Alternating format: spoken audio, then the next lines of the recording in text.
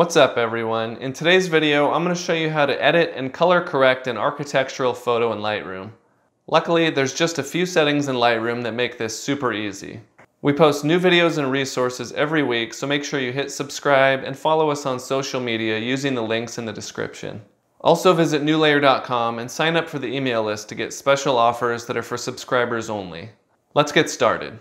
Here's the before image and here's the after, and I'm going to show you the steps I took to straighten out and color correct this photo. New Layer members can download this photo in the project files at newlayer.com, but you can apply these methods to your own photos as well. So we'll go back to the before photo and hide these thumbnails so we get a better look at our picture. And the first thing that I'm going to do is adjust the exposure to make the room nice and bright. So I'm going to drag my exposure slider to the right to about plus one. Next, we'll adjust the color temperature to get the lights as white as possible. Sometimes you want a warm orange glow to your lights, but in this case, we want to portray this room as very bright, clean, and white. So I'm going to come up and start dragging my temperature slider to the left. So somewhere around 2600 is pretty good. And this image has a lot of magenta tint to it. So I'm going to drag the tint slider to the left to about 11.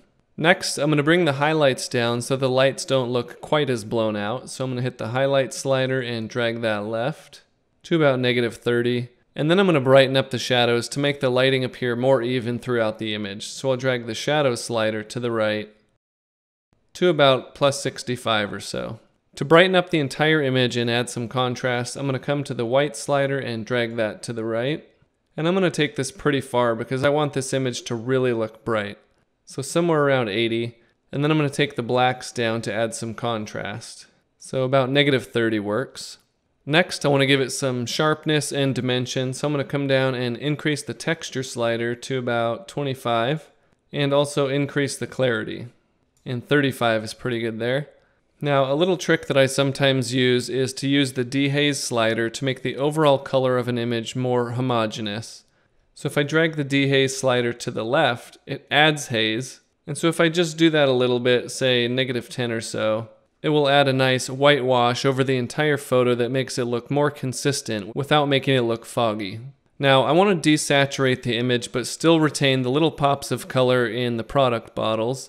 So I'm going to use the vibrance and the saturation sliders. Now the vibrance will increase the saturation of colors that are already pretty saturated, and the saturation slider is more of a global saturation change. So what we can do is increase the vibrance. So I'll set that to about 50, and that will make colors that are already pretty colorful even brighter. And then I'm going to take the saturation way down to about negative 60. And that will desaturate colors that didn't have a lot of color to begin with. So they kind of offset, but this method allows you to take color out of things that are kind of cream or tan or white.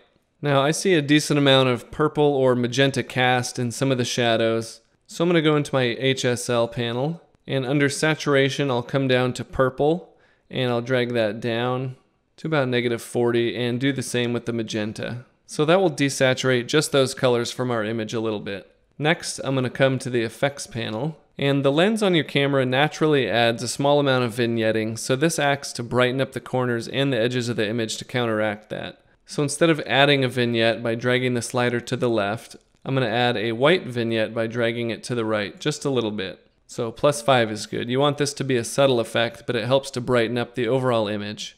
Next, I'm going to make a small tweak to the main light so it's not quite so blown out. So I'm going to come up to my radial filter and I'm going to click and drag a circle shape. And this is going to act as our mask.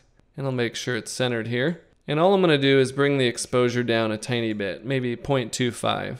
And that will just darken the light. That way we can see it better and it matches the environment a little bit better.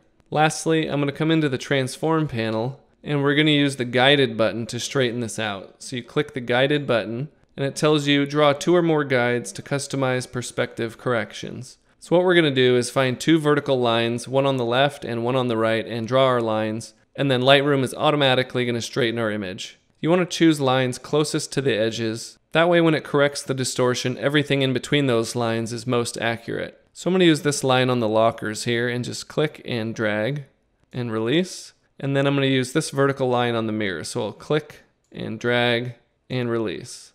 And you can see that Lightroom does a really good job of straightening our image based on those lines. So again, here's the before and the after. It's a really big difference.